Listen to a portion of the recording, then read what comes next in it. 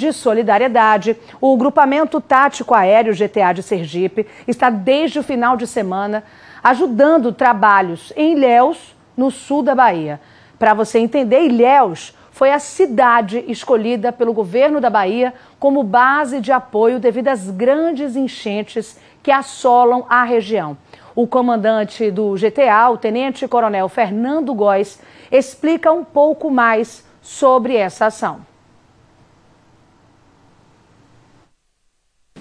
Bom, tudo começou com um contato do governador Rui Costa com o governador de Sergipe, doutor Belivaldo Chagas, solicitando é, o apoio é, da nossa aeronave para a, a, situação lá no sul da Bahia, que estava se agravando é, muito rapidamente, num curto espaço de tempo.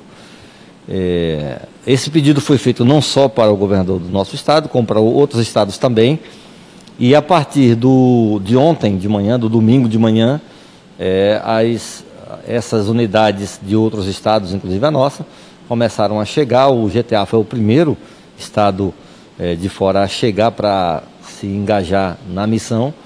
E a partir daí começamos é, a atuar é, uma quantidade bem significativa de ocorrências e, e essa demanda é crescente porque na região o mau tempo ainda persiste é, está cada vez pior, né? o solo está totalmente encharcado, então a água já não é mais absorvida e é, o resultado disso é o alagamento de, de vias públicas, de residências, é, desabamentos de, de, de, edificações, pessoas, um número crescente de pessoas desabrigadas, né? É, e o colapso nos serviços de, de, uma cidade, serviços urbanos de uma cidade, né? Então não tem água potável, não tem sistema de transporte, energia precária, é, alimentação, as pessoas não conseguem comprar alimentos, é, não conseguem é, manter a sua sobrevida por muito tempo, porque a maioria das pessoas estão ilhadas.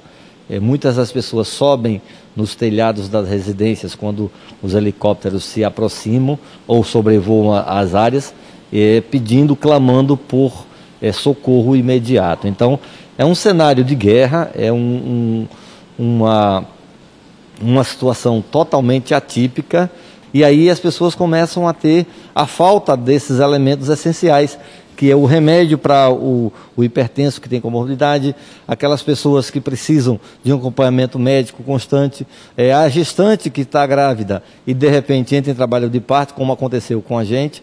E assim também como uma pessoa que é cadeirante, que não consegue mais se locomover e está numa situação de risco, a água está subindo, a gente foi lá e, teve, e, e, resgatou uma senhora cadeirante.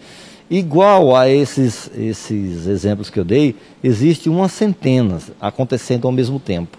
Então, eh, as aeronaves que estão empenhadas nessa missão, elas trabalham ininterruptamente até o pôr do sol e retomam imediatamente após o nascer do sol no dia seguinte.